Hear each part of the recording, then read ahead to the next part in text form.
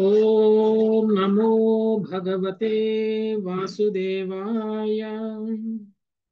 ॐ नमो भगवते वासुदेवाय। ॐ नमो भगवते वासुदेवाय।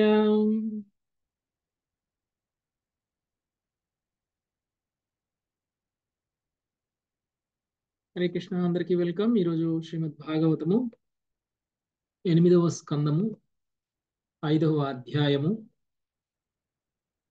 ఇరవై ఏడవ శ్లోకం నుంచి ఇరవై ఏడే కదండి? ఎస్ ప్రభుజీ. అంటే ఇరవై ఆరు మళ్ళీ చెప్పుకుందాం అన్నారు. ఓకే ఇరవై ఆరవ శ్లోకం నుంచి యాక్చువల్గా మనకి బ్రహ్మదేవుడి యొక్క ప్రార్థనలు స్టార్ట్ అవుతున్నాయి. ఓకే అయితే దేవతలందరూ కూడా బ్రహ్మదేవుడి దగ్గరికి వెళ్తే బ్రహ్మదేవుడు మాత్రమే రక్షించగలరు అని దేవతలందరూ అనుకున్నారు. కానీ బ్రహ్మదేవుడు మనందరినీ రక్షించేటువంటిది భగవానుడు. శ్వేతద్వీపం దగ్గరనే ఉన్నారు. శ్వేతద్వీపంలో ఉన్నటువంటి ఒక క్షీరసాగరంలో భగవంతుడు ఇప్పుడు అజితుడుగా ఉన్నారు. సో ఆ భగవంతుడిని మనం ప్రార్థిస్తే ఆ భగవంతుడు మనల్ని రక్షిస్తారు అని బ్రహ్మదేవుడు దేవతలందరినీ క్షీరసాగరం వరకు తీసుకెళ్ళారు. శ్వేతద్వీపంకి తీసుకెళ్ళడం జరిగింది. సో అయితే ఈ శ్వేతద్వీపంలో మరి ఆ బ్రహ్మదేవుడు దేవతలందరితో కలిసి ప్రార్థన చేయటము అనేటువంటిది మొదలుపెట్టారు. సో మొదటిగా భగవంతుణ్ణి కీర్తిస్తున్నారు. భగవంతుడికి చేసేటువంటి ప్రార్థనలో ముందు మనము భగవంతుణ్ణి కీర్తించాలి. ఎందుకు మనం భగవంతుణ్ణి నమస్కరించాలి. ఎందుకు మనం భగవంతుడికి శరణాగతులం అవ్వాలి అని భగవంతుడి యొక్క గుణగణాలను కీర్తిస్తూ మనము భగవంతుడికి ప్రార్థన చేయాలి.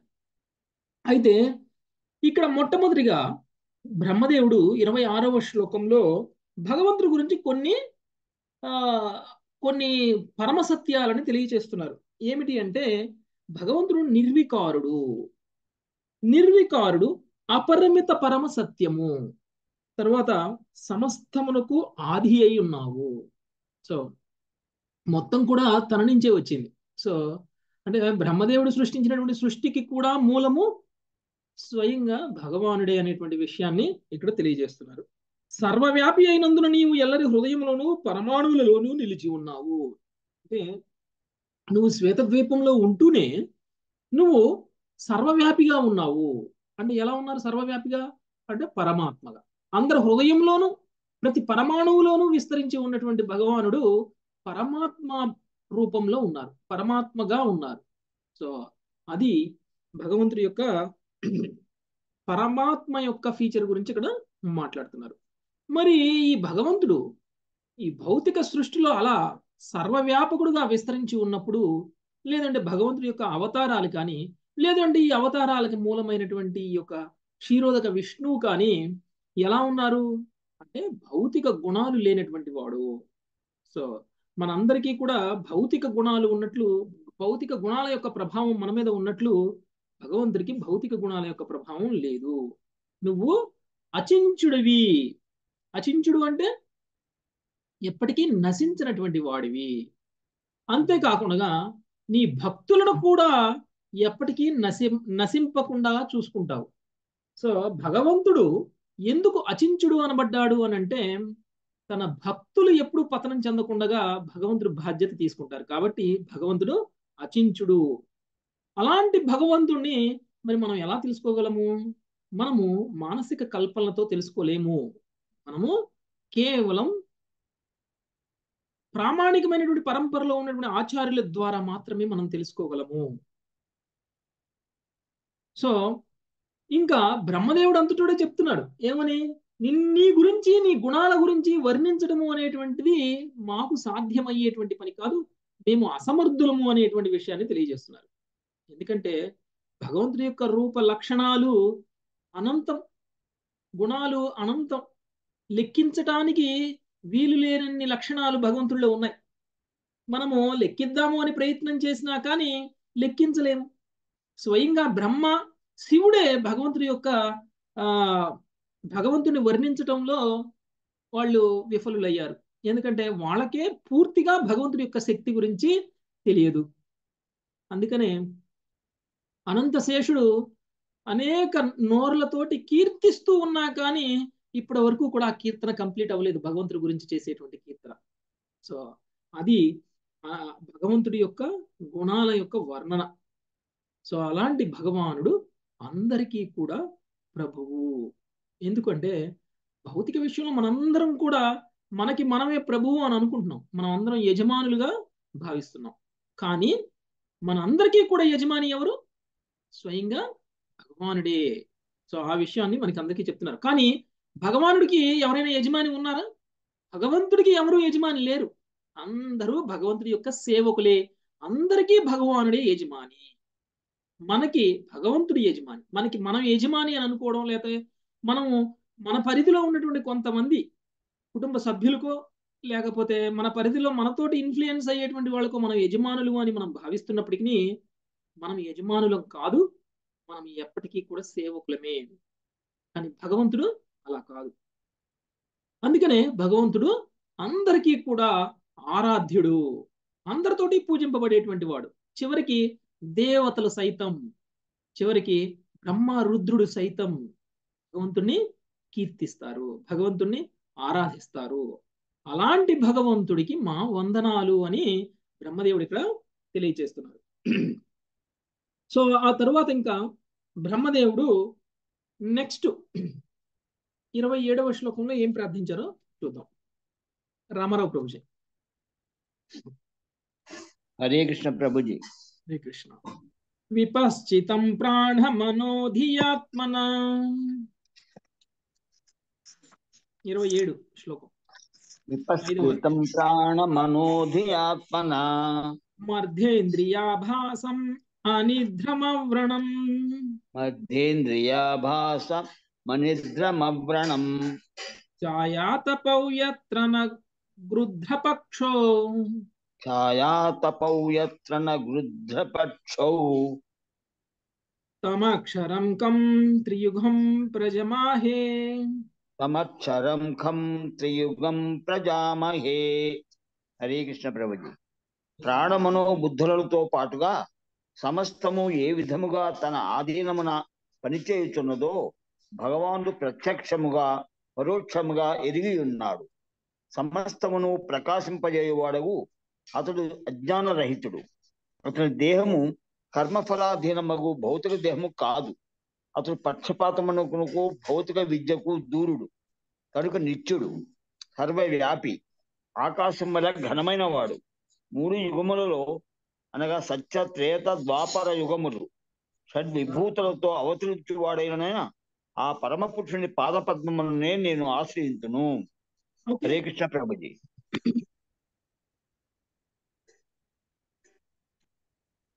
సో భగవంతుడికి తెలియనటువంటి విషయాలు ఏమీ లేవు అని చెప్తున్నారు ఇక్కడ బ్రహ్మదేవుడు. మనం అందరము ఎన్నో కర్మలు చేసి మనల్ని ఎవరు చూడట్లేదు అని మనం అనుకుంటాం. లేదు అంటే మనం చేసినటువంటి తప్పులకి సాక్ష్యం ఎవరు లేరు అని మనం అనుకుంటున్నాం. కానీ మనం చేసిన తప్పుల్ని మనం మర్చిపోతామేమో కానీ మనం చేసింది తప్పు కాదో మనకు తెలియదేమో కానీ భగవంతుడికి సమస్తము తెలుసు. ఎందుకంటే సమస్తము కూడా భగవంతుడి యొక్క ఆధీనంలోనే ఉంది కాబట్టి సో చాలా గొప్ప సిస్టమ్ తయారు చేశారు భగవంతుడు. ఈవెన్ భౌతికంగా మనం తయారు చేసినటువంటి ఏ సిస్టమ్ అయినా కానీ ఇంత పర్ఫెక్ట్గా పనిచేయదు. ఎవరైనా ఒక చిన్న తప్పు చేశారంటే ఆ తప్పు రికార్డ్ అయిపోతుంది. ఎవరైనా చిన్న మంచి చేశారంటే ఆ మంచి కూడా రికార్డ్ అయిపోతుంది. అంత పర్ఫెక్ట్గా భగవంతుడు ఆ సిస్టమ్ని ఏర్పాటు చేయటము అనేటువంటిది జరిగింది. కాబట్టి ఈ యొక్క భగవంతుడు అందరి హృదయాలలో ఉన్నటువంటి భగవానుడు కాబట్టి భగవానుడికి సమస్తము తెలుసు. అందరి యొక్క కర్మలకి కూడా భగవంతుడు సాక్షిగా ఉన్నారు. సో ఈ విషయం మనకి భగవద్గీతలో కూడా స్వయంగా భగవానుడే తెలియచేశారు. అందరి హృదయాల్లో నేను సాక్షిగా ఉన్నాను. అంటే మనకి ఆ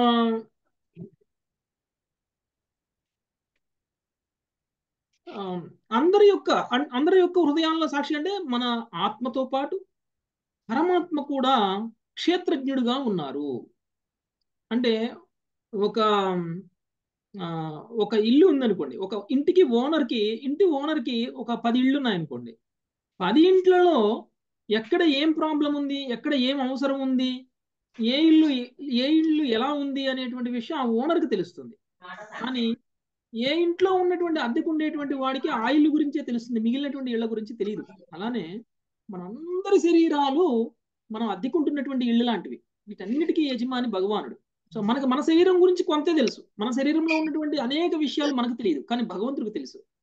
అలానే మిగిలినటువంటి శరీరాలు మన శరీరంలో ఉన్న దాంట్లోనే మనం కొంత విషయాన్ని మనం తెలుసుకోలేనప్పుడు ఇక మిగిలిన వాళ్ళ మన మన మన కానిటువంటి శరీరంలో ఉన్నటువంటి వివిధ విషయాలను మనం ఎలా తెలుసుకోగలము? అది సాధ్యం. కాదు కానీ భగవంతుడికి మాత్రం మన గురించి అందరి గురించి భగవంతుడికి తెలుసు. అది భగవంతుడిలో ఉన్నటువంటి ప్రత్యేకత. అందుకని మనము భగవానుడు పరమాత్మ ఒకటే అని అనుకుంటే అది కరెక్ట్ కాదు. సో సారీ మనము భగవానుడు ఒకటే అనుకుంటే లేదంటే నేను పరమాత్మ ఆత్మ పరమాత్మ రెండు ఒకటే మేమిద్దరం క్షేత్రజ్ఞులమే అని అనుకుంటే అది కరెక్ట్ కాదు. ఎందుకంటే మనకి మన గురించి మాత్రమే తెలుసు కానీ పరమాత్మకి అంతా తెలుసు. తర్వాత సమస్తమును ప్రకాశింపజేయవాడు అతడు అజ్ఞానరహితుడు. సో తనకి ఎలాంటి అజ్ఞానము లేదు. ఎందుకంటే జ్ఞానానికే మూలం భగవానుడు. మనందరికీ జ్ఞానాన్ని ఇచ్చేదే భగవంతుడు. కాబట్టి అతని దేహము అతను అందరికీ ప్రకాశవంతుడు. అతని దేహము కర్మఫలాధీనముగా భౌతికము కాదు. మన శరీరం భౌతికమైనట్టు భగవంతుడి యొక్క శరీరం భౌతికం కాదు. భౌతిక శరీరానికి ఆధ్యాత్మిక శరీరానికి తేడా ఏమిటి అని అంటే భౌతిక శరీరం కర్మఫలాలను పొందుతుంది కానీ ఆధ్యాత్మిక శరీరానికి కర్మఫలాలు ఉండవు. భగవంతుడు ఏం చేసినా కర్మఫలం అనేటువంటిది ఉండదు. తర్వాత భౌతిక విద్యకు దూరుడు. మనం అందరం కూడా భౌతికంగా పురోగమించి భౌతికమైనటువంటి డిగ్రీలు సాధించి మనము ఈ భౌతిక శాస్త్రాన్ని లేదంటే ఖగోళ శాస్త్రాన్ని మొత్తం సృష్టిని ఎలా ఉంది ఎక్కడ ఏముంది అనేటువంటి ప్రయత్నం చేయాలి అనేటువంటిది చేస్తున్నాం. కానీ భగవంతుణ్ణి భౌతికమైనటువంటి విద్యతోటి భగవంతుడు సృష్టించినటువంటి సృష్టిలో కొంత భాగాన్ని కూడా మనం అర్థం చేసుకోలేము. అలాంటిది మరి భగవంతుడిని ఏం అర్థం చేసుకుంటాం? భౌతికమైనటువంటి విద్యతోటి అది సాధ్యం కాదు. అందుకనే భగవంతుడిని అర్థం చేసుకోవాలి అంటే భౌతికమైన విద్య కాదు. కావాల్సింది ఆధ్యాత్మికమైనటువంటి విద్య కావాలి. అలాంటి ఆధ్యాత్మికమైనటువంటి విద్య మనకి కేవలం గురువు ద్వారానే సాధ్యమవుతుంది. అంతేకాని మ్యాథ్స్ సైన్స్ చెప్పేటువంటి వాళ్ళ దగ్గరికి వెళ్ళిపోయి భగవంతుడి గురించి చెప్పమంటే వాళ్ళు చెప్పలేరు. వాళ్ళు చెప్పినా మనకు అర్థం కాదు. వాళ్ళకి అర్థం కాదు. కాబట్టి భగవంతుడి గురించి తెలుసుకోవాలి అని అంటే భౌతిక విద్య కాదు. మనకు కావాల్సింది ఆధ్యాత్మికమైనటువంటి గురువు కావాలి. ఆధ్యాత్మిక గురువు యొక్క గురువుకి సేవ చేసినప్పుడు మాత్రమే మనము గురువు యొక్క కరుణని కృపని పొందగలుగుతాము. అప్పుడు మాత్రమే మనం భగవంతుడిని తెలుసుకోగలుగుతాం. తర్వాత నిత్యుడు సర్వవ్యాపి ఆకాశము వలె ఘనమైన వాడు మూడు యుగములలోనూ షడ్ విభూతులతో అవతరించు వాడైనటువంటి ఆ పరమ పురుషుని పాదపద్మాన్ని నేను ఆశ్రయించాను. ఈ యుగంలో ఉన్నారు ఆ యుగంలో లేరు అని కాదు. పోనీ ఆ యుగంలో ఉన్నప్పుడు ఎలా ఉన్నారు ఈ యుగంలో ఉన్నప్పుడు ఎలా ఉన్నారు అని కాదు. ఏ యుగంలో ఎప్పుడైనా సరే భగవంతుడు సంపూర్ణంగా షడ్విభూతులని కలిగి ఉంటారు. ఎందుకంటే భగవానుడి కంటే మించినటువంటి ఐశ్వర్యము అనేటువంటిది ఎవరికీ లేదు. కాబట్టి సంపూర్ణంగా షడ్విభూతులని కలిగినటువంటి వాడు భగవానుడు అని మనకి పరాశరముని కూడా నిర్వచనం ఇచ్చారు భగవానుడికి. అలాంటి నిర్వచనానికి పోలినటువంటి వాళ్ళే భగవంతుడు కానీ ఎవరు పడితే వాళ్ళు భగవంతులు కారు. కాబట్టి బ్రహ్మదేవుడు ఎవరికి శరణాగతులు అవ్వాలి అనేటువంటి విషయంలో పూర్తి క్లారిటీ ఉంది ఆయనకి. ఆయన ఎవరో ఒకళ్ళని పట్టుకొని నువ్వే భగవంతుడివి అని అనట్లేదు మనలాగా. కాబట్టి ఆయన కేవలం నిర్వచించి మరీ చెప్తున్నారు భగవంతుడు నువ్వు ఇలాంటి వాడివి. నీకు షడ్ విభూతులు సంపూర్ణంగా ప్రతి యుగంలోనూ ప్రతి సమయంలోనూ అనాది నుంచి ఉన్నాయి ఇప్పటికీ ఉన్నాయి భవిష్యత్తులో కూడా ఉంటాయి. అలాంటి నీకు మాత్రమే మేము శరణాగతులం అవుతున్నాము అలాంటి మీకు మాత్రమే మా వందనాలు అనేటువంటి విషయాన్ని తెలియజేస్తున్నారు. ప్రభుజీ ప్రభు అన్మ్యూట్ చేసుకొని శ్రీమద్ భాగవతం యొక్క ఆరంభమున దేవదేవుడు జన్మాన్యశ్చ యతోన్వయాది తరతశ్చార్ దేశభజ్ఞ అని వర్ణించినాడు. అనగా భగవానుడే సమస్త ఉద్భవములకు మూలమై ఉన్నాడు. తన సృష్టి అందరి సమస్త కలాపములను గూర్చి అతను ప్రత్యక్షముగా పరోక్షముగా నెరిగి ఉన్నాడు. కనుకనే అతడు ఇతట విపశ్చితం అని సంబోధింపబడినాడు. అనగా అతడు సమస్త జ్ఞానపూర్ణుడు. సమస్తము నెరిగిన వాడని అర్థము. అతడు పరమాత్ముడు. కనుక జీవుని గూర్చి వారి ఇంద్రియములను గూర్చి సమస్తము ఎదిగి ఉండును అభిద్రతం అనగా సదా జగత్తు సం నందున్నవాడు అజ్ఞాన దూరుడు అని పదము ఈ శ్లోకంలో ప్రధానమైనది.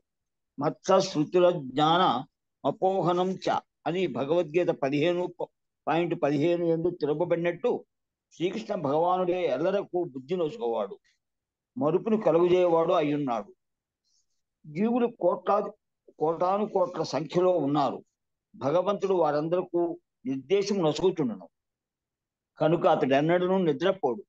అంతేకాకుండా జీవుల కర్మలు అతనికి తెలియనివి కావు. అతడు సమస్తములకు సాక్షి అయి ఉన్నాడు. మనం ఏది చేయుచున్నామో అతడు ప్రతిక్షణము వీక్ష వీక్షించుడును అతడిది కర్మ ఫల దేహము కాదు.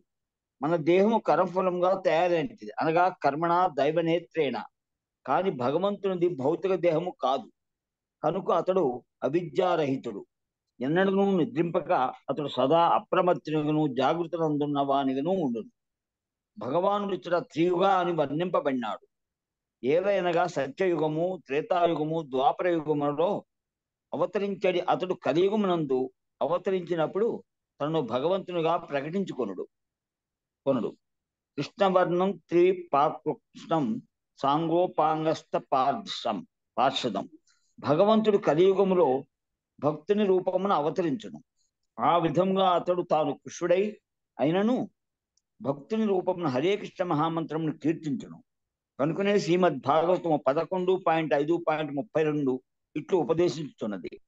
యజ్ఞై సంకీర్తన సప్రాయైర్య అంతే హిమ మేధన. కృష్ణుని వలె నీలమేఘశ్యామల వర్ణుడు కాక కాంచన వర్ణ దేహుడు అనగా త్రిశాకృష్ణం అయిన శ్రీ చైతన్య మహాప్రభు దేవదేవుడే.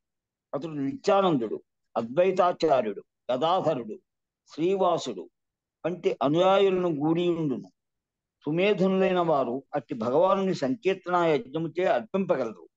ఈ అవతారం అతడు తాను భగవంతుని ప్రకటించుకొనడు. కనుక శ్రీయుగా అని తెలుపబడినాడు హరే కృష్ణ ప్రభుజీ. త్రియుగ అని ఓన్లీ మూడు యుగాల గురించే మాట్లాడారు. ఓకే. అంటే త్రేతాయుగము సత్యయుగము తర్వాత ద్వాపరయుగము ఈ మూడిటి గురించే మాట్లాడారు. కలియుగం గురించి ఎందుకు మాట్లాడలేదు అంటే భగవంతుడు ఒకవేళ కలియుగంలో అవతరించినా కానీ ఆ అవతారము నేను భగవంతుణ్ణి అని ప్రకటించుకోడు. అది మనకి భాగవతం తెలియజేస్తున్నటువంటి విషయం. అంటే భగవంతుడు అవతరిస్తారు కలియుగంలో కూడా.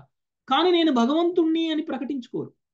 ఎవరైతే నేను భగవంతుణ్ణి అని ప్రకటించుకుంటున్నారో వాళ్ళు భగవంతులు కాదు అని అర్థం. ఎందుకంటే భాగవతం ఖండిస్తుంది. ఎందుకంటే భగవంతుడు స్వయంగా కలియుగంలో అవతరించి నేను భగవంతుణ్ణి అని ప్రకటించుకోరు అనేటువంటి విషయం మనకు భాగవతం చెప్తుంది. కాబట్టి మనం ఎవరైతే నేను భగవంతుణ్ణి అని ప్రకటించుకున్నటువంటి వాళ్ళు పూజలు అందుకోవాలి అనేటువంటి ప్రయత్నం చేస్తున్నారో మీ దగ్గర నుంచి మీ సమయాన్ని మీ యొక్క శక్తిని సామర్థ్యాన్ని అన్నిటినీ కూడా వాళ్ళకి అంకితం చేయమని ఎవరైతే మిమ్మల్ని కోరుకుంటున్నారో అలాంటి వాళ్ళకి మనము దూరంగా ఉండాలి. ఎందుకంటే వాళ్ళు ఎవరు కూడా భగవంతులు కారు. భగవంతుడు ఒకవేళ కలియుగంలో అవతరించినా కానీ కేవలం భక్తుడుగా అవతరించి మనకి భక్తి ఎలా చేయాలి అనేటువంటి విషయం నేర్పడం కోసమే వస్తారు. మనకి భాగవతం తెలి తెలియజేస్తున్నటువంటిది ఏమిటి పదకొండవ స్కందంలో అంటే కృష్ణవర్ణం త్విషా కృష్ణం సాంగోపాంగాస్త్ర పార్షదం యజ్ఞై సంకీర్తన ప్రాయైర్ యజంతి సుమేధస. అంటే భగవంతుడు అవతరిస్తారు. ఎలా అవతరిస్తారు? ఒక భక్తుడుగా అవతరిస్తారు. కృష్ణవర్ణం అంటే శ్రీకృష్ణ భగవానుడికి ఉన్నటువంటి రంగులో రారు ఆయన నీలమేఘశ్యాముడిగా రారు ఆయన ఆయన ఏ రంగులో వస్తారు? ఆయన కాంచవర్ణం. అంటే బంగారు రంగులో ఆయన అవతరిస్తారు. అలాంటి త్విషాకృష్ణం అంటే బంగారు అంటే కృష్ణుడికి ఉన్నటువంటి రంగు కాదు. సో కాబట్టి కలియుగంలో అవతరించబోయేటువంటి భగవానుడి యొక్క లక్షణాలను మనకి భాగవతం ముందే తెలియజేసింది. అది చైతన్య మహాప్రభువు అనేటువంటి విషయం మనకి శిల ప్రభుపాదుల వారు కన్ఫర్మ్ చేసి చెప్తున్నారు. ఎందుకంటే మన పరంపరలో ఉన్నటువంటి ఆచార్యులు అందరూ కన్ఫర్మ్ చేసేశారు. చైతన్య మహాప్రభువు తను కొంతమంది పార్షదులతో కూడి వస్తారు అనేటువంటి విషయం చెప్పారు. పార్షదులు ఎవరు? పార్షదులు నిత్యానందుడు ద్వైతాచార్యుడు గదాధరుడు శ్రీవాసాచారి. ఈ పార్షదులతో కూడి మనం పంచతత్వ చెప్పుకుంటున్నాం కదా ఈ పంచతత్వలో ఉన్నటువంటి వాళ్ళందరూ కూడా చైతన్య మహాప్రభు యొక్క పార్షదులు. ఎందుకు వస్తారు? వచ్చి ఏం చేస్తారు? సంకీర్తన యజ్ఞాన్ని చేస్తారు. ఎందుకంటే వాళ్ళు తీసుకుని వచ్చినటువంటి ఆయుధాలు ఏమిటి అని అంటే భగవంతుడి యొక్క నామం. భగవంతుడి యొక్క నామంతోటే ధర్మాన్ని పునఃస్థాపించాలి అనుకున్నారు చైతన్య మహాప్రభు. ఎలా? ప్రతి యుగంలోనూ అవతరించేటువంటి భగవానుడు ధర్మాన్ని పునఃస్థాపిస్తారు. మరి కలియుగంలో అవతరించినటువంటి చైతన్య మహాప్రభు ఎలా ధర్మాన్ని పునఃస్థాపించారు? అంటే అందరికీ సంకీర్తన యజ్ఞాన్ని ఇచ్చారు. అందరికీ హరే కృష్ణ మహామంత్రాన్ని ఇచ్చారు. అందరితోటి ఆ భగవంతుడి యొక్క నామాన్ని తీసుకునేలా చేశారు. ఆ విధంగా అందరిలో ఉన్నటువంటి అసుర స్వభావాన్ని పోగొట్టేశారు. అందరినీ బ్రాహ్మణులుగా మార్చే ప్రయత్నం చేశారు. అందుకనే ఆయన చేసినటువంటి ఈ యొక్క ఆ యజ్ఞం ఏదైతే ఉందో ఈ యొక్క నామము అనేటువంటి ఆయుధం ఏదైతే ఉందో ఆ ఆయుధంతో అందరి అసురులను కూడా చంపేసినట్లే. సో భగవంతుడి యొక్క నామంతో ఆయన చేసినటువంటిది.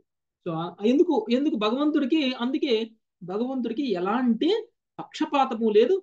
మనందరినీ ఉద్ధరించడం కోసం భగవంతుడు ప్రతి యుగంలోనూ ఇలానే అవతరిస్తూ మనందరినీ కూడా ఉద్ధరించే ప్రయత్నం చేస్తూ ఉన్నారు. నెక్స్ట్ ఇరవై ఎనిమిదవ శ్లోకం. సునీత మాతాజీ. హరే కృష్ణ ప్రభుజీ. అజస్య చక్రం త్వజయేర్యమాణం. అజస్య చక్రం త్వయ త్వజయేర్యమాణం. మనోమయం పంచదశారమాశు. మనోమయం పంచదశారమాశు. త్రినాభివిద్యూచ్చలమస్థనేమి త్రినాభివిద్యుచ్చలమష్టనేమి యదా క్షమాహుస్తమృతం ప్రపద్యే యదక్షమాహుస్తమృతం ప్రపద్యే భావము. భౌతిక కర్మ చక్రమునందు దేహము మనోమయ రథ చక్రమును బోలును. దశేంద్రియములు ఐదు కర్మేంద్రియములు ఐదు జ్ఞానేంద్రియములు. దేహమునందలి పంచప్రాణములు రథ చక్రము యొక్క పదునైదు ఆకులు. త్రిగుణములు సత్వ రజస్తమో గుణములు దాని కేంద్రము కాగా ప్రకృతి యొక్క అష్టతత్వములు భూమి జలము అగ్ని వాయువు ఆకాశము మనస్సు బుద్ధి అహంకారం ఆ చక్రం చుట్టూ ఉండేడు అంచు భాగము. బాహ్యశక్తిచే విద్యుత్తు వలె నడుపబడి ఆ చక్రము పరమాత్ముడు పరమసత్యము భగవంతుడు అనేది అక్షము మూలాధారము చుట్టూ అత్యంత వేగముగా తిరుగుచుండును. అట్టి దేవదేవునికి మేము నమస్కరింతుము. భాష్యం నిరంతర జన్మ మృత్యు వలయము ఇచ్చట అలంకారయుక్తముగా వర్ణింపబడినది. దీని విషయమున భగవద్గీత సెవెన్ పాయింట్ ఫైవ్ ఎందు ఇట్లు చెప్పబడినది. అపరేయమితస్త్వన్యాం ప్రకృతిం విద్ధి మే పరాం జీవభూతాం మహాబాహో యయేదం ధార్యతే జగత్. భగవదంశ అయిన జీవుడు ప్రకృతిని వినియోగించుచున్న కారణముననే జగత్తంతయు నడుచుచున్నది. ప్రకృతి బంధములో చిక్కిన జీవాత్మ భగవన్ నిర్దేశమున జన్మ మృత్యు చక్రములో తిరుగాడుచుండును. ఈ విషయమున కేంద్ర బిందువు పరమాత్ముడే. దీనిని గూర్చి Bhagavad Gita eighteen point sixty one ఎందు ఇట్లు వివరింపబడినది. ఈశ్వర సర్వభూతానాం హృద్దేశేర్జున తిష్టతి. భ్రామయన్ సర్వభూతాని యంత్రారూఢాని మాయయా. ఓ అర్జున పరమపురుషుడు ఎల్లరి హృదయములందు విరాజమానుడై ఉండి ప్రకృతి నిర్మిత యంత్రముపై ఆసీనులైనట్లుగానున్న సర్వజీవుల గతులను నిర్దేశించున్నాడు బద్ధజీవుల యొక్క కర్మల ఫలమే భౌతిక దేవ దేహము. దీనికి ఆశ్రయము పరమాత్ముడే గనుక అతడే యథార్థ విషయమై ఉన్నాడు. కనుక మనందరము ఆ కేంద్ర సత్యమునకు నమస్కరించవలసి ఉన్నది. ఈ భౌతిక జగత్తు యొక్క కర్మల చే తప్పుదారి పట్టి కేంద్ర విషయమైన పరతత్వమును మరచుట ఎవ్వరికి తగదు. ఇట్టి ఉపదేశమే బ్రహ్మచే ఇచ్చట వసగబడినది. హరే కృష్ణ. ప్రభుజీ. ధన్యవాదాలు ప్రభుజీ. సో జన్మ మృత్యు అనేటువంటి ఈ యొక్క వలయం ఏదైతే ఉందో ఈ వలయము మనందరం కూడా అనేక సార్లు అలా తిరుగుతూ ఉన్నాము ఇక్కడ మనకు ఉన్నటువంటి శరీరము పంచభూతాలతో తయారు చేయబడింది. అది కాక ఇంకా సూక్ష్మ ఇంద్రియాలు అయినటువంటి మనసు బుద్ధి అహంకారం కూడా. అంటే అనేక తత్వాలు భగవంతుడి నుంచి వచ్చాయి. ఈ తత్వాలన్నిటితోటి కూడా ఈ భౌతిక విశ్వం తయారు చేయబడింది. ఈ భౌతిక విశ్వంలో భగవంతుడే పరమసత్యం కానీ మిగిలింది ఏది కూడా పరమసత్యం కాదు. మనం అందరం కూడా భగవంతుడు భగవంతుడు నియంత్రణలో ఉన్నటువంటి కాలం కాలంలో నశింపబడుతున్నాము. అలా భగవంతుడే నియంత్రిస్తున్నారు మొత్తం కూడా. సో మనం ఇంతకు ముందు కూడా చూసాం మన శరీరాన్ని ఒక రథముతో పోల్చినప్పుడు మన ఇంద్రియాలు మనస్సు బుద్ధి ఎలా మనల్ని మన మనం మన భౌతిక శరీరాన్ని డ్రైవ్ చేస్తున్నాయి ఏ విధంగా మనము గతిని పొందుతున్నాము అనేటువంటి విషయాన్ని మనం ఇంతకు ముందే ఉపమానంతో మరి చెక్ చేసి చూసాము. కాబట్టి సో అప్పుడు ఆ రథం యొక్క చక్రం చూస్తే ఆ రథం యొక్క చక్రానికి ఉన్నటువంటి ఆకులు ఏవైతే ఉన్నాయో అవి త్రిగుణాలు అనేటువంటి విషయం మనం మనం చదువుకున్నాం. సత్వరజస్తమో గుణాలు. సో సో ఈ విధంగా అనేక తత్వాలు ఏవైతే ఉన్నాయో భౌతిక తత్వాలు అది సూక్ష్మ స్థూల తత్వాలతో నిర్మితమైనటువంటి మనము భగవంతుడి యొక్క నియంత్రణలో ఉన్నటువంటి కాలంలో మనం ఉన్నాము అలాంటి నియంత్రణ భగవంతుడి మీద లేదు. కాబట్టి అలాంటి భగవంతుడికి మేము నమస్కరిస్తున్నాము అని బ్రహ్మదేవుడు ఇక్కడ తెలియజేస్తున్నారు సో మనకి భగవద్గీతలో కూడా అనేక శ్లోకాల్లో ఇవన్నీ కూడా రుజువు అవుతున్నట్లు కృష్ణుడు తన గురించి తాను చెప్పినటువంటి అనేక శ్లోకాలకి మనకి ఇక్కడ ప్రభుపాల వారు ఉదాహరణగా ఇవ్వడం అనేటువంటి జరిగింది. సర్వజీవుల యొక్క గతుల్ని ఏ విధంగా తాను నిర్దేశిస్తున్నాడు? అందరినీ కూడా ఆ తర్వాత భౌతిక ప్రకృతిని కూడా తాను ఎలా నియంత్రిస్తున్నారు అనేటువంటి విషయం మనకి భగవద్గీతలో కూడా ఇవ్వడం అనేటువంటిది జరిగింది. నెక్స్ట్ ఇరవై తొమ్మిదవ శ్లోకం. మల్లేశ్వరి మాతాజీ హరే యయేకవర్ణం తమసః పరంతా. యా ఏకవర్ణం తమసః పరంతా. గలోకమవ్యక్తమనస్తపారం మనంతపారం. దలోకమవ్యక్తమనంతపారం.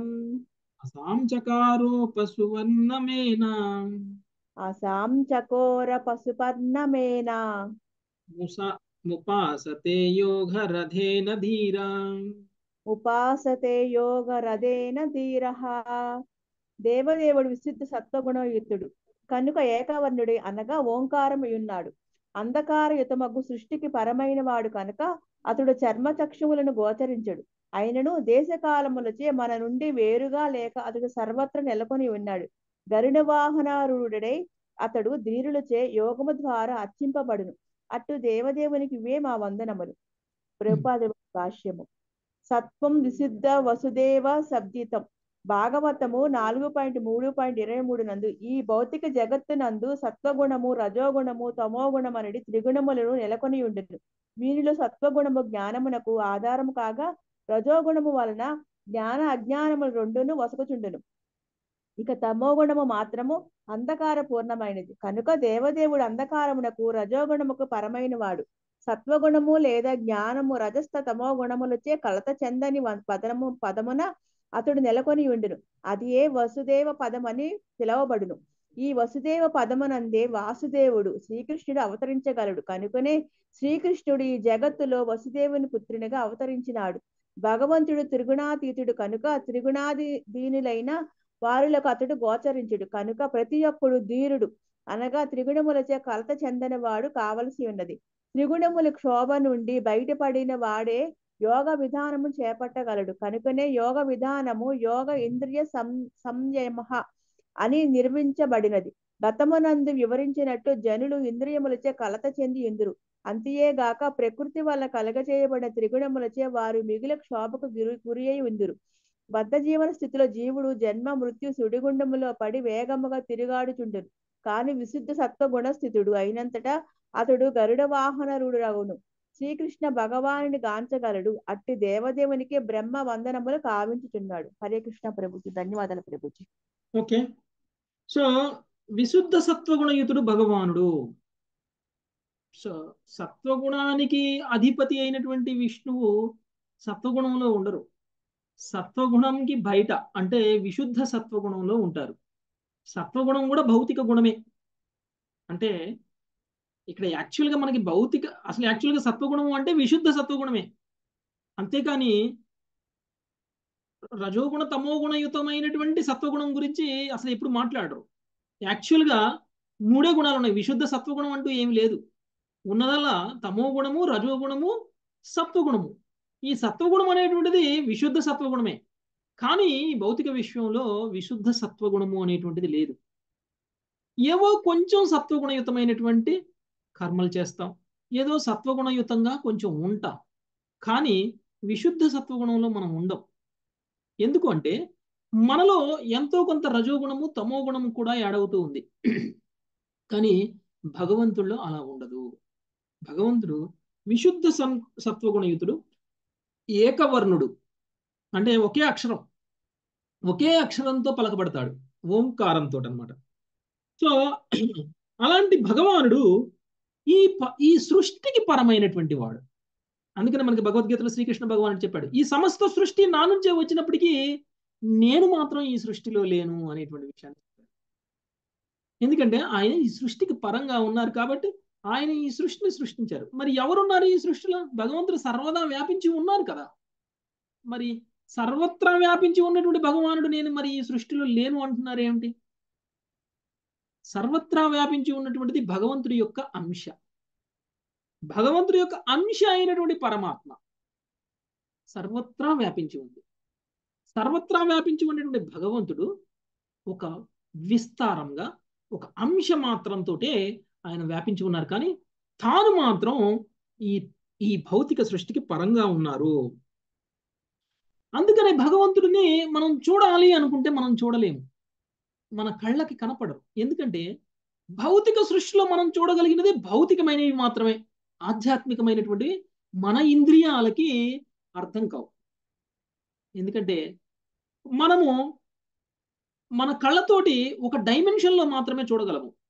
మనం చూడగలిగినవి మాత్రమే మనము నిజము అని నమ్ముతాము. మనం చూడలేనివి కూడా చాలా ఉన్నాయి. మన చెవులతో వినలేని శబ్దాలు కూడా ఉన్నాయి. మన కళ్ళతో చూడలేనివి కూడా చాలా మన చుట్టూ ఉన్నాయి. అంత మాత్రాన మన దగ్గర మనం చూడలేనివి మనం వినలేనివి నిజం కాదు అనడానికి లేదు. అలానే భగవంతుడు కూడా మనం అర్థం చేసుకోవాలి మన కళ్ళతోటి అని అంటే అది సాధ్యం కాదు. ఎందుకంటే మన కళ్ళకు ఆ డైమెన్షన్ లేదు. మనం భగవంతు భగవంతుడు మనకి దివ్య దృష్టి ఇవ్వాలి. భగవంతుడు మనకి దివ్య దృష్టి ఇచ్చినప్పుడు మనం అది చూడడానికి సాధ్యమవుతుంది. లేదు లేదు అంటే కనుక మనకది అది భగవంతుడిని చూడడము అనేటువంటిది సాధ్యం కాదు. అందుకనే భగవంతుడు అగోచరుడు. మన కళ్ళకి కనిపించరు. సో అలాంటి భగవంతుడు చర్మచక్షువులకి గోచరించరు అన్నారు. చర్మచక్షువులు అంటే భౌతికమైనటువంటి కళ్ళకి కనిపించరు. అయినా దేశ కాలములచే మన నుండి వేరుగా లేక అతడు సర్వత్రా నెలకొని ఉన్నాడు.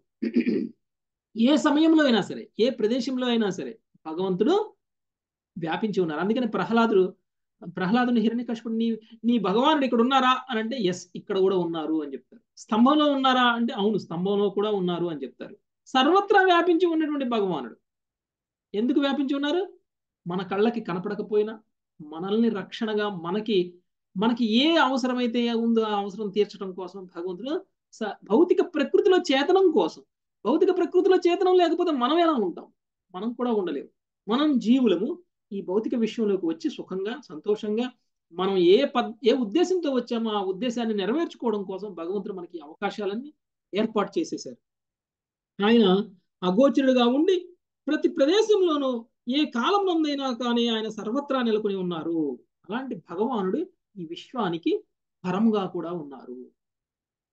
మూల రూపంలో ఆ భగవానుడు గరుడ వాహన రూఢుడై అతడు ధీరులచే ధీరులచే యోగము ద్వారా అర్చింపబడును. ధీరులు అంటే? ధీరులు అంటే ఇంద్రియాలను జయించినటువంటి వాడు ధీరుడు. ఇంద్రియ నిగ్రహం కలిగినటువంటి వాడు ధీరుడు. యోగము ద్వారా భగవంతుణ్ణి అర్థం చేసుకోవాలి అనేటువంటి ప్రయత్నం చేస్తారు ధీరులు. సో అలాంటి వాళ్ళు యాక్చువల్గా మనం చూస్తే యోగంలో పరిపూర్ణత సాధించాలి అంటే ముందు భౌతిక ఇంద్రియాల కంట్రోల్ అనేటువంటిది ఉండాలి. అందుకని అష్టాంగ యోగ విధానంలో యోగారుక్ష యోగారూఢ యోగారురుక్ష అనేటువంటి రెండు స్టేజ్లు ఉన్నాయి. యోగారూఢ స్టేజ్లో మనము భౌతిక ఇంద్రియాలని కంట్రోల్ చేసేటువంటి స్థితిలోనే ఉంటాం. అప్పుడు మనం భౌతికమైనటువంటి కర్మలు చేస్తూనే ఉంటాము. మన ఇంద్రియాలతో చేయాల్సినటువంటి కర్మలను చేస్తూనే ఉంటాము. కానీ కొన్ని నియమాలను పాటిస్తూ చేస్తూ ఉంటాం ఎప్పుడైతే మనము యోగారు వృక్ష అంటే అడ్వాన్స్డ్ స్టేజ్లోకి వెళ్ళిపోయామో యోగాలో అప్పుడు ప్రత్యాహార. ప్రత్యాహార అంటే మన ఇంద్రియ కర్మలన్నీ ఆపేసేయాలి. అంటే ఏ కర్మల ద్వారా ప్రత్యాహార స్టేజ్కి వస్తామో ఆ కర్మలన్నీ ఆపేయాలి. ఏ ఇంద్రియాలను ఉపయోగించుకుని మనం యోగంలో అడ్వాన్స్డ్ స్టేజ్లోకి వెళ్తామో ఆ ఇంద్రియాలను అన్నిటినీ కూడా అరికట్టాలి. మనస్సును కూడా అరికట్టాలి. అది ప్రత్యాహార స్టేజ్ అంటే. భౌతికమైనటువంటి ఇంద్రియాలు సూక్ష్మ ఇంద్రియాలని స్థూల ఇంద్రియాలని కంప్లీట్గా మనము నియంత్రించినటువంటి పరిస్థితి నియంత్రించినటువంటి స్థితి ప్రత్యాహార స్టేజ్. అప్పుడు మనము భగవంతుని ధ్యానం చేయగలుగుతాం. అందుకనే భగవంతుడిని ప్రత్యాహార తర్వాత ధారణ చేస్తారు. యోగ అష్టాంగ యోగంలో. అందుకని మనకి ఇక్కడ యోగం ద్వారా భగవంతుడు అర్చింపబడును. ఎప్పుడు? గరుడ వాహన రూఢుడైనటువంటి అతడు ధీరులచే అంటే ఇంద్రియాలన్నింటినీ కూడా నియంత్రించినటువంటి వారితే అట్టి దేవదేవుడికి ఇవే మా వందనములు. సో భగవంతుడి యొక్క గొప్ప లక్షణాలను తెలియచేసి ఆ భగవంతుడికి అందుకు నమస్కారం చేస్తున్నాను అని చెప్తున్నారు. ఓకే నెక్స్ట్ ముప్పై వర్షం లక్ష్మీ మాతాజీ ఆత్మకూరు లక్ష్మి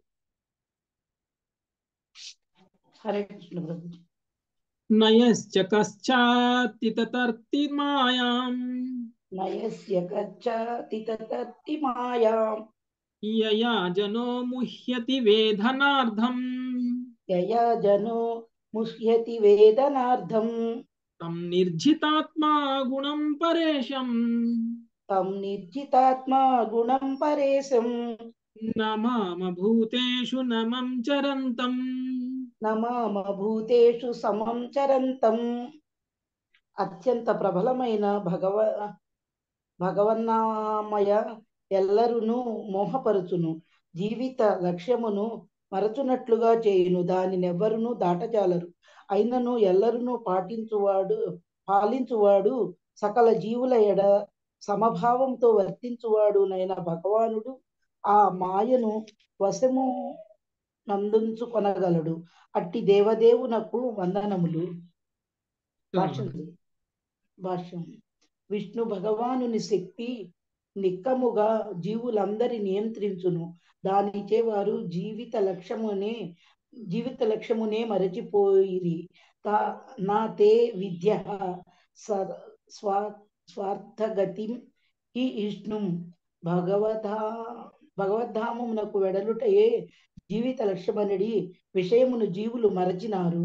ఈ భౌతిక జగత్తునందు సుఖవంతులుగా నగుటకు చక్కని అవకాశముగా గోచరించడి పద్ధతిని భగవన్నామ జీవ జీవులందరకు పద్ధతిని భగవన్నా భగవ న్యాయ జీవులందరకు వసగును కానీ ఆ అవకాశము మాయ మాత్రమే అనగా అది నెరవేరని స్వప్నము వంటిది మాత్రమే. ఈ విష ఈ విధముగా ప్రతి జీవుడు భగవన్ న్యాయముచే మోహితుడగుచుండును. అట్టి మాయ నిస్సందేహముగా ప్రబలమైనదే అయినను ఈ శ్లోకమునందు పరేశం అని వర్ణించబడినది. దివ్య పురుషుని ఆధీనమందే ఉండగలదు. భగవంతుడు శ్రీ సృష్టిలో అంశముగాక దానికి పరమైన వాడు కనుక అతడు తన మాయచే బద్ధజీవులను నియంత్రించట నియంత్రించుటయే గాక ఆ మాయను కూడా నియంత్రించేవాడై ఉన్నాడు. ప్రబలమగు మాయ ఎల్లరును నియంత్రించుచున్నది. దాని ఆధీనము నుండి బయటపడుట అత్యంత కఠినమనియు భగవద్గీత సృష్టముగా తెలిపినది. అట్టి నియామక శక్తి శ్రీకృష్ణ భగవానునికి చెందినదై అతని ఆధీనమునే పనిచేయును కానీ జీవుడు ప్రకృతిచే అణచబడిన వాడై ఆ దేవదేవుని మరచి ఉన్నారు హరే కృష్ణ. ఓకే. సో భగవంతుడు మాయని సృష్టించారు ఈ మాయ అనేటువంటిది భగవంతుడి యొక్క బాహ్య శక్తి అంటే భౌతికమైనటువంటి శక్తి. ఇలాంటి భౌతికమైనటువంటి శక్తిని ఎందుకు సృష్టించారు భగవంతుడు? ఎందుకు అంటే మనల్ని అందరినీ ఈ మాయలో ఉంచాలి. మనం అందరం కూడా భగవంతుడికి అన్యంగా ఎంజాయ్ చేయాలి అని అనుకున్నటువంటి వాళ్ళం. భగవంతుడి నుంచి దూరంగా భగవంతుడి పొజిషన్లో ఉండాలి అని అనుకున్నటువంటి వాళ్ళం. ఒకవేళ మనకి భగవంతుడి గురించి పూర్తిగా జ్ఞానం ఉందనుకోండి లేదంటే మనం భగవంతుడి సేవకులము అని తెలుసుకున్నాం అనుకోండి అప్పుడు మనం ఏ ఉద్దేశంతో ఈ భౌతిక విషయంలోకి వచ్చామో ఆ ఉద్దేశాన్ని నెరవేర్చుకోవడం సాధ్యం కాదు. నేను భగవంతుడికి శరణాగతుడిని అయినప్పుడు నేను ఎలా ఇంద్రియభోగం చేస్తాను? నేను ఎలా నాకు నేనే ప్రభువు అని ప్రకటించుకుంటాను? నేను ఎలా ఇంకొకళ్ళని నియంత్రించాలి అనేటువంటి ప్రయత్నం చేస్తాను? అది సాధ్యం కాదు. శరణాగతుడు అయినటువంటి భక్తుడు వేరుగా ఉంటాడు. శరణాగతుడు అయినటువంటి భక్తుడు ఇంకొక రకంగా ఉంటాడు. కాబట్టి భగవంతుడు మనల్ని మాయ ప్రభావంలో అందుకే ఉంచారు. మన కోరికలు తీర్చడం కోసం మనం అనుకున్నది చేయడం కోసం. అలాంటి మాయలో మనం ఉన్నప్పుడు మరి మనం ఏ విధంగా ఈ మాయను దాటి బయటికి వెళ్ళాలి? తిరిగి మన యొక్క నిజస్థితిని పొందాలి? పొరపాటున వచ్చేసాము. వచ్చేసినటువంటి మనం అయ్యో నేను తప్పు చేసేసాను మళ్ళీ నేను వెనక్కి వెళ్ళిపోవాలి అని అనుకుంటే? మాయను జయించిపోవాలి. మాయను జయించిపోవడము అనేటువంటిది సాధ్యమయ్యే పని కాదు. ఎందుకంటే మాయ మనల్ని జయించనివ్వదు. ఎవరైనా సరే ఇద్దరు యుద్ధం చేస్తున్నారనుకోండి. యుద్ధం చేసేటువంటి ప్రతి ఇద్దరు ఇద్దరు వీరులు కూడా పూర్తి శక్తి సామర్థ్యాలతో యుద్ధం చేస్తారు. నేను గెలవాలి అనేటువంటి ఉద్దేశంతోనే ప్రతి ఒక్కడు యుద్ధం చేస్తాడు. అలానే మాయతోటి కూడా మనం చేసేటువంటి యుద్ధంలో మనం గెలవాలని ఎలా అనుకుంటామో మాయ కూడా అలానే అనుకుంటుంది నేను గెలవాలి అని. సో మాయ నేను గెలవాలి అని అనుకున్నప్పుడు మనకి మాయను గెలిచే శక్తి సామర్థ్యాలు ఉన్నాయా? లేవు. మనం ఏదో ఆధ్యాత్మికంగా ఉన్నంత మాత్రాన భక్తుల సాంగత్యం లేకుండా అప్పుడప్పుడు అప్పుడప్పుడు మనం ఏదో భౌతికమైనటువంటి కర్మలు కాకుండా ఆధ్యాత్మికమైనటువంటి కర్మలు చేస్తూ ఉండిపోతాను. అలా చేస్తే నేను మాయం జయించినట్లే అనుకుంటే సాధ్యం కాదు. నిరంతరము భగవంతుడి యొక్క చైతన్యంలో ఉండాలి మనం. కృష్ణ చైతన్యంలో ఉండాలి మనం. ఎప్పుడైతే మనం అలా ఉంటామో మనల్ని మాయ ఏమీ చేయలేదు. ఎందుకంటే ఈ మాయకు కూడా ప్రభువు భగవానుడు కాబట్టి. మయాధ్యక్షేన ప్రకృతి సూయతే సచరాచరం. భగవంతుడు భగవద్గీతలో చెప్పేశారు ప్రకృతి నా ఆధ్వర్యంలో పనిచేస్తుంది అని. ఈ మాయ భగవంతుడి యొక్క ఆధ్వర్యంలో ఉన్నప్పుడు మనము భగవంతుడి యొక్క శరణులో ఉంటే గనక ఈ మాయ మనల్ని ఏమీ చేయలేదు. ఆ విధంగా మనము మాయ నుంచి రక్షింపబడాలి. కానీ వేరే ఏ విధంగా నేను ఇంద్రియాలని బలవంతంగా నియంత్రిస్తాను? లేదు అనంటే నేను ధ్యాన పద్ధతిలో నేను అష్టాంగ యోగ పద్ధతిలో నేను ఇంద్రియాలను నియంత్రించి నేను మాయని జయిస్తాను అంటే అది సాధ్యం కాదు. భగవంతుడి యొక్క పాద పద్మాలను ఆశ్రయించకుండా మనం మాయని జయించి ఈ మాయా ప్రపంచం నుంచి బయటికి వెళ్ళడము అనేటువంటిది సాధ్యం కాదు. అందుకనే ఈ మాయని జయించటం అనేటువంటిది చాలా కష్టము అని భగవద్గీతలో మనకి తెలియజేసేశారు శ్రీకృష్ణుడు. కాబట్టి శ్రీకృష్ణ భగవానుడి ఆధీనంలోనే మాయ ఉంది కాబట్టి శ్రీకృష్ణ భగవానుడికి శరణ వేడితే తప్ప మనము మాయని హరే కృష్ణ. ముప్పై ఒకటి. శ్రీష మాతాజీ. ఈమే వయం యత్ ప్రియమై ప్రియయైవ తన్వా. ఇమే వయం యత్ ప్రియ ప్రియ ఐవ తన్వా సత్వేన సృష్టా బహిరంతరావిః సత్వేన సృష్టా బహిరంతరావి రావిః భిన్న సూక్ష్మామృషయశ్చ విద్మహే గతిన్న సూక్ష్మా వృషయస్య విద్మహే కుతో సురాధ్యా ఇతర ప్రధాన కుతో ఇతర ప్రధానా దేహ దేహములు సత్వగుణ నిర్మితములై నందున మేము దేవతలము. అంతర్బాహ్యములలో సత్వగుణ యుతులమై యుందుము. మహర్షులు కూడా ఆ రీతినే నెలకొని ఉన్నారు. అట్లయిన మేమే దేవదేవుని తెలుసుకున్న జాలకొనొచ్చు. రజస్తమో గుణములను అల్పజీవులు విషయమును గూర్చి వేరుగా తెలుపునది ఏమున్నది? వారెట్లు ఆ భగవంతుని తెలుసుకొనగలరు? అటువంటి భగవంతునికి మేము నమస్కరించుచున్నాము. భాష్యము. దేవదేవుడు ఎల్లరి యందు నెలకొని ఉన్నప్పటికీ నాస్తికులు దానవులు అతనిని ఎరుగజాలరు. అటువంటి వారికి భగవానుడు అంత్యమున మృత్యురూపమున దర్శి దర్శనమిచ్చును. ఇది భగవద్గీత ఎందు ధ్రువపరచబడినది మృత్యు సర్వ సరస్యాహం నాసికులు తాము స్వతంత్రులమని తలచినందున భగవంతుని సర్వాధిక్యమును పట్టించుకొను కొనరు. కానీ వారిని మృత్యురూపణ జయించిన భగవానుడు తన సర్వాధిక్యమును నిరూపణ చేసుకొనును. మరణ సమయమున నాస్తికులైన వారి నామమాత్ర విజ్ఞాన శాస్త్రము భగవంతుని సర్వాధిక్యము నిరసించుటకు చేసడి తాత్విక కల్పనము ఏ విధముగాను పనికిరాదు. ఉదాహరణకు హిరణ్యకశిపుడు నాస్తిక వర్గము వారికి చక్కగా ప్రతిని ప్రతినిధి అయి ఉన్నాడు భగవంతుని అస్తిత్వమును గూర్చి సదా పంతమాడిన అతడు తన పుత్రుని ఎడను వైరభావమును పొందెను. హిరణ్యకశిపుని దానవ గుణములను గాంచి ఎల్లరూ భీతి చెందిరి. అయినను నరసింహదేవుడు అవతరించినప్పుడు ఆ దా ఆ దానవ గుణములు హిరణ్యకశిపునికి రక్షింపజాలకపోయెను. నరసింహుడు ఆ దానవుని దునుమాడి అతని బలమును ప్రభావమును గర్వమును హరించి వేసెను. అయినను దానవులు తాము తయారు చేసుకున్నది ఏ విధముగా నశించిపోవును ఎరుగుజాలరు. పరమాత్ముడు వారి యందు కూడా నెలకొని ఉన్నాడు.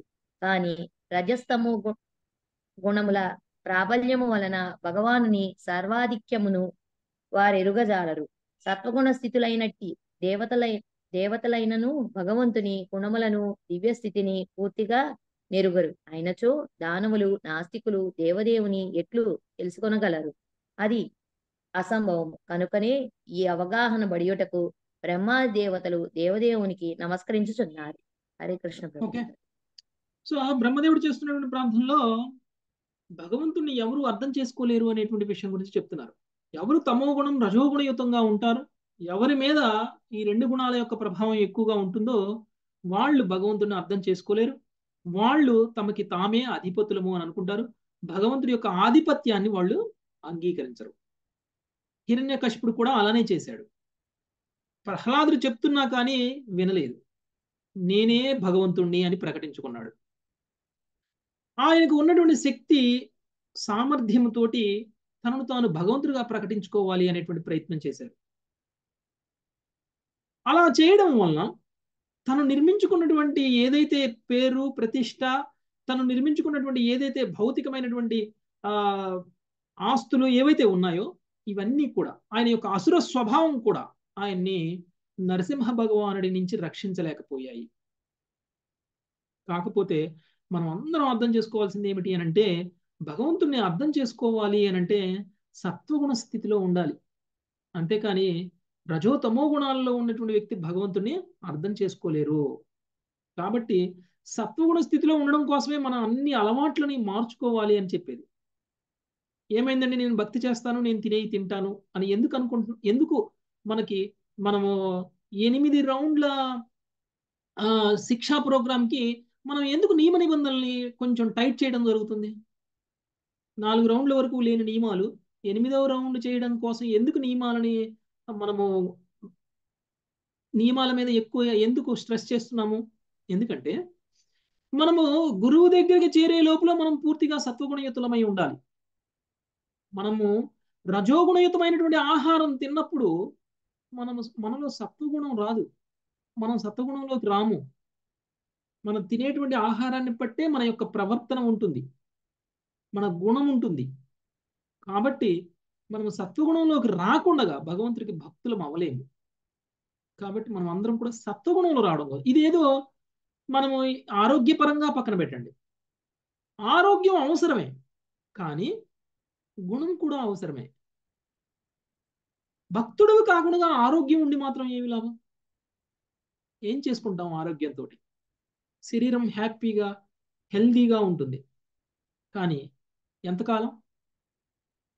భక్తుడు అవడం అనేటువంటిది ఇంపార్టెంట్. భక్తుడు కాకుండా మనము మన ఆహారపు అలవాట్లను అలానే ఉంచుకొని రజోగుణంలో తమోగుణమైత రజోగుణయుతమైనటువంటి తమోగుణయుతమైనటువంటి ఆహారాలని తింటూ సత్వగుణానికి మారాలి అని అనుకోవడం సాధ్యం. అందుకనే మనకి పద్దెనిమిదవ అధ్యాయంలో శ్రీకృష్ణుడు రజోగుణయుతమైనటువంటి ఆహారం ఏమిటి? తమోగుణయుతమైనటువంటి ఆహారం ఏమిటి? సత్వగుణయుతమైనటువంటి ఆహారం ఏమిటి అనేటువంటి విషయం ఎందుకు చెప్పారు అంటే మనం సత్వగుణయుతమైనటువంటి ఆహారం మాత్రమే తీసుకుంటే సత్వగుణయుతం సత్వగుణయుతులం అవుతాము సత్వగుణంలోకి వచ్చేస్తాము సత్వగుణంలోకి రాకుండా ఆధ్యాత్మిక పురోగతి అనేటువంటి సాధ్యం కాదు. అందుకనే ఇక్కడ దేవతలు మాత్రమే సత్వగుణ స్థితిలో ఉంటారు. అంటే ఎవరు దేవతలు? ఎవరైతే భగవంతుణ్ణి అంగీకరిస్తారో వాళ్ళందరూ దేవతలే.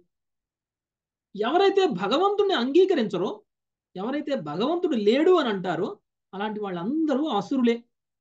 నాస్తికులు అందరూ కూడా అసురులే. నాస్తికులు కాని వాళ్ళందరూ దేవతలే. అయితే ఈ దేవతల్లో కూడా అంగీకరించినంత మాత్రాన సత్వగుణంలో ఉండాలని ఏం లేదు. సత్వగుణంలోకి వచ్చినటువంటి దేవతలు ఎవరైతే ఉంటారో వాళ్ళు ఆధ్యాత్మికంగా పురోగమిస్తారు.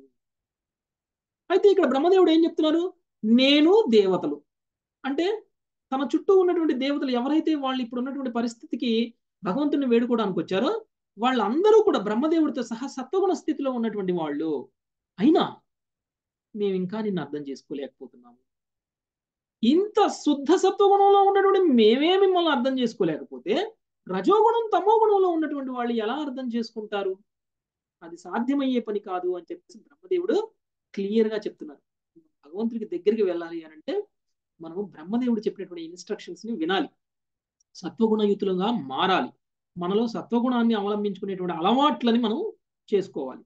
అప్పుడు మాత్రమే మనకి భగవంతుడికి దగ్గర అవుతాము అలాంటి భగవంతుడికి బ్రహ్మదేవుడు నమస్కారాలు తెలియచేస్తున్నారు. నెక్స్ట్ సత్యవతి మాత పాదౌ మహీయం స్వకృతైవయస్య సత్యవతి కృష్ణ ప్రభుజీ. పాదౌ మహీయం సుకృతైవ యస్య చతుర్విధో యత్ర హి భూత సర్గ చతుర్విధో యత్ర హి భూత సర్గః వై మహాపూరుష ఆత్మతంత్ర స వై మహాపూరుషాత్మతంత్రః ప్రసీదతాం బ్రహ్మ మహావిభూతి ప్రసీదతాం బ్రహ్మ మహావిభూతిః ధరిత్రిపై నాలుగు రకముల జీవరాశి ఉన్నది. అట్టి సమస్త జీవరాశి భగవంతుని చెంతన స్పృశించబడినది భౌతిక సృష్టి అంతయో అతని పాదపద్మ చెంత నెలకొని ఉన్నది విభూతి పూర్ణుడు శక్తి పూర్ణుడైన ఆ మహాపురుషుడు మా ఎడ ప్రసన్నుడగు కాక. భాష్యము. భాష్యము. మహి అను పదము పంచభూతములను అంటే భూమి జలము వాయువు అగ్ని ఆకాశం సూచించును. అవి దేవదేవుని పాదపద్మ చెందన నెలకొని ఉన్నవి. మహాత్పదం. పుణ్య యశోమురారే భౌతిక జగత్తు భగవద్విభూతి కనుక మహాతత్వము అతని పాదాల విందములను ఆశ్రయించుండును ఈ జగత్తులో నాలుగు రకములకు జీవరాశి ఉన్నది అవి జరాయుజములు అంటే గర్భం ద్వారా జన్మించినవి అండజములు అండముల వల్ల జన్మించినవి స్వేదజములు చెమట వలన పుట్టినవి ఉద్భిజములు విత్తనముల ద్వారా పుట్టినవి అనున్నవి సమస్త భగవంతుడి నుండి ఉద్భవించినవి. ఈ విషయం వేదాంత సూత్రం నందు ధ్రువపరచబడినది జన్మాద్యత ఎవ్వరు స్వతంత్రుడు కారు కేవలం పరమాత్మనే పూర్తిగా స్వతంత్రుడు. జన్మాద్యస యతో అన్వయాధి తర తశ్చాధ్యేష్వభిజ్ఞ స్వరాట్ దీని ఎందు స్వరాట్ అను పూర్ణ స్వతంత్రుడని భావము. మనము పరతంత్రము కాగా భగవానుడు పూర్ణ స్వతంత్రుడై ఉన్నాడు. కనుక అతడు అందరికను మహాగరుడై ఉన్నాడు. ఈ జగత్తును సృష్టించినట్టు బ్రహ్మదేవుడు కూడా అతని ఒకానొక విభూతి అయి ఉన్నాడు. ఈ భౌతిక సృష్టి భగవంతుని చేతనే సక్రియమైన కారణమున అతడు దీని ఎందలి అంశం కాడు. అతడు సదా తన మూల ఆధ్యాత్మిక స్థితి ఎందు నెలకొనిండును విరాట్ రూపము అంటే వైరాజమూర్తి ఆ దేవదేవుని మరి యొక్క స్వరూపమై ఉన్నది. హరే కృష్ణ ఈ భౌతిక సృష్టిలో సృష్టింపబడినటువంటి ప్రతిదీ కూడా భగవంతుడితో సృష్టింపబడింది. నాలుగు రకాల జీవరాశులు. ఒకటి గర్భం ద్వారా జన్మించినటువంటి వాళ్ళు అండము ద్వారా జన్మించినటువంటి వారు స్వేదము ద్వారా జన్మించినటువంటి వారు బీజము ద్వారా జన్మించినటువంటి ఇలా నాలుగు రకాల జీవరాశులు కూడా భగవంతుడితోటి సృష్టింపబడ్డారు. అందుకనే భగవంతుడి పాద పద్మాల చెంతనే సమస్త భౌతిక సృష్టి కూడా ఉంది. ఈవెన్ బ్రహ్మలోకం నుంచి మొదలుకొని మొత్తం కూడా. అందుకనే బ్రహ్మదేవుడు సైతం భగవంతుడి యొక్క విభూతే. బ్రహ్మదేవుడు సైతము భగవంతుడి యొక్క విభూతి. ఎందుకంటే భగవంతుడితో సృష్టింపబడ్డారు కాబట్టి. అదే విషయం మనకి ఇక్కడ తెలియజేస్తున్నారు. అలాంటి భగవంతుడు విభూతి పూర్ణుడు అంటే సమస్త ఐశ్వర్యాలని కలిగి ఉన్నటువంటి వాడు. సమస్త శక్తిని కలిగి ఉన్నటువంటి వాడు. ఆయన మహాపురుషుడు. ఆయన ప్రసన్నమైతే మనం భక్తిలో అన్ని రకాలుగా సాధించినట్లే. అలాంటి భగవంతుడికి ఇక్కడ వీళ్ళు శరణాగతులు అవుతున్నారు మనకి వేదాంత సూత్రాలలో కూడా ఈ విషయాన్ని చెప్పబడింది. భగవంతుడు సర్వస్వతంత్రుడు. కానీ మనము సర్వస్వతంత్రులము కాదు. మనం జైల్లో ఉండి స్వతంత్రులము అనుకుంటే స్వతంత్రుడ అనుకునేటువంటి జైల్లో ఉన్నటువంటి ఖైదీ తాను తన తాను స్వతంత్రుడు అనుకున్నంత మాత్రాన బయట నుంచి చూసేటువంటి మనకు అర్థమవుతుంది వాడు స్వతంత్రుడు కాకపోయినా స్వతంత్రుడు అనుకుంటున్నాడు అని. నాలుగు గోడల మధ్యనే తిరుగుతూ నేను స్వతంత్రంగా ఉన్నాను అని అనుకుంటున్నాడు. అలానే ఈ భౌతిక విశ్వంలో తిరుగుతూ మనము స్వతంత్రంగా ఉన్నాము అని మనం అనుకుంటున్నాము. బయటికి వెళ్తే తెలుస్తుంది మన స్వతంత్రత ఏమిటి అనేటువంటి కాబట్టి భగవంతుడు విరాట్ మనం కాదు విరాట్. ఎందుకంటే ఆ స్వరాట్ స్వరాట్ అంటే సంపూర్ణ స్వతంత్రాన్ని కలిగినటువంటి వాడు స్వరాట్. సో అది మనకి లేదు. అందుకనే మనందరికంటే కూడా భగవంతుడు ఘనమైనటువంటి వాడు ఈ భౌతిక జగత్తు మొత్తానికి సృష్టికర్త అయినటువంటి భగవానుడు ఈ సృష్టికి భరంగా ఉన్నారు. ఆయన ఆధ్యాత్మిక స్థితిలో ఉన్నారు. ఈ భౌతిక సృష్టి ఏదైతే ఉందో అదంతా కూడా ఆయన యొక్క విరాట్ రూపము అని తెలియజేస్తున్నారు. అందుకనే ఆ భగవంతుడికి వీళ్ళు ఇప్పుడు శరణు వేడుతున్నారు. ముప్పై మూడు. నీలరాణి మాతాజీ. హరే కృష్ణ ప్రభుజీ. అంబస్తు ఉదార వీర్యం. అంబస్తు యద్రేత ఉదార వీర్యం. सिद्ध्यन्ति जीवन्युत वर्धमानाः सिद्ध्यन्ति जीवन्त्युत वर्धमानाः लोकायतोता अखिलोक अखिललोकपाला। लोकायतोथा नः समहाविभूतिः। प्रसीदतां नः समहाविभूतिः। సమస్త జగత్తు జలము నుండియే ఉద్భవించినది. ఆ జలము వలననే జీవులన్నీను స్థితిని కలిగి ఉండు ఉండుట జీవించుట వృద్ధి చెందుట జరుగుచుండును. అట్టి జలము భగవంతుని వీర్య స్వరూపమై ఉన్నది. కనుక అంతటి మహాశక్తి సంపన్నుడను దేవదేవుడు మా ఎడ ప్రసన్నుడగుగాక. భాష్యము. శ్రీల ప్రభుపాదికి జై. నామమాత్ర శాస్త్రజ్ఞుల సిద్ధాంతములు ఎన్ని ఉన్నప్పటికీ ఈ లోకమునందు ఇతర లోకములందు ఉన్నట్టి జలరాశి ఉదజని ఆమ్లజని సమ్మేళనముచే తయారు కాలేదు. నిజమునకు జలము ఒక్కొక్కప్పుడు దేవదేవుని స్వేదముగును మరొకప్పుడు వీర్యముగాను వివరింపబడను. జలము వలననే జీవులన్నీ ఉద్భవించును.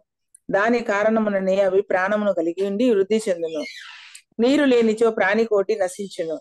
జలమే ఎల్లరకు జీవదాయకమై ఉన్నది. అనగా భగవత్కృప చేతనే ప్రపంచమంతటను అపార జలరాశి లభ్యమై ఉన్నది. హరే కృష్ణ. ధన్యవాదాలు. జలము గురించి చెప్తున్నారు. భగవంతుడి యొక్క వీర్యము భగవంతుడి యొక్క స్వేదమే మనకి ఇక్కడ జలం లాగా ఏర్పడింది. అంతేకాని కానీ కెమికల్ రియాక్షన్తో జలం తయారవుతుంది అని అంటే అది అసత్యం. ఎందుకంటే ఆ కెమికల్స్ కూడా భగవంతుడు ఇచ్చిందే మనకి. ఈ భౌతిక సృష్టిలో హైడ్రోజన్ ఎక్కడి నుంచి వచ్చింది? ఆక్సిజన్ ఎక్కడి నుంచి వచ్చింది? హైడ్రోజన్ ఆక్సిజన్ రెండు కలిస్తే వాటర్ తయారవుతుంది. కరెక్టే. కానీ ఈ హైడ్రోజన్ని ఆక్సిజన్ని ఎవరు ఇచ్చారు మనకి? భగవంతుడే ఇచ్చారు. కాబట్టి మనం మూలం వరకు వెళ్ళకుండా ఆ మూలం లేదు. ఆ హైడ్రోజన్ ఈ భౌతిక సృష్టిలో ఉంది. ఆక్సిజన్ ఈ భౌతిక సృష్టిలో ఉంది. ఈ రెండింటిని కలిపితే సరిపోతుంది వాటర్ వచ్చేస్తుంది అని శాస్త్రజ్ఞులు అన్నంత మాత్రాన హైడ్రోజన్కి ఆక్సిజన్కి కూడా మూలం అనేటువంటిది ఉంది. అది భగవంతుడు ఏర్పాటు చేసినటువంటి ఈ భౌతిక సృష్టిలో భాగమే. కాబట్టి భగవంతుడి ద్వారా మాత్రమే జలం వస్తుంది. జలం లేకపోతే మనం అందరం బ్రతకలేము. మనందరం పుట్టలేము బ్రతకలేము. మన జీవన మనుగడ కూడా సాధ్యం కాదు. అలాంటి జలానికి కూడా ఆధారము భగవంతుడే. అది సమస్త సృష్టిలో వ్యాపించి ఉంది. కాబట్టి ఆ జలానికి ఆధారమైనటువంటి మహాశక్తి సంపన్నుడైనటువంటి భగవానుణ్ణి ప్రసన్నం అవ్వాలి అని ఇక్కడ దేవతలందరూ కూడా కోరుకుంటున్నారు. ఓకే? ఇక్కడికి ఈరోజు ఆప్దాం మాతాజీస్ ముప్పై నాలుగో శ్లోకం నుంచి మళ్ళీ మనము రేపు చూద్దాం. థ్యాంక్ యూ వెరీ మచ్ వాంఛా కల్పతరుభ్యశ్చ కృపా సింధుభ్య చ పతితానాం పావనేభ్యం వైష్ణవేభ్యో నమ హరే కృష్ణ